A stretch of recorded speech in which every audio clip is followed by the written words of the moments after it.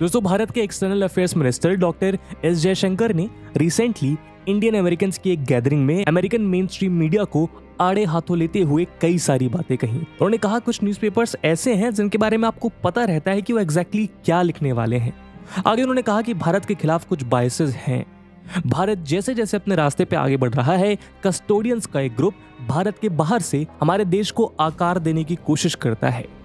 कश्मीर मुद्दे को मेंशन करते हुए उन्होंने कहा कि इस बात से कोई फ़र्क नहीं पड़ता कि मरने वाले इंसान का धर्म क्या है।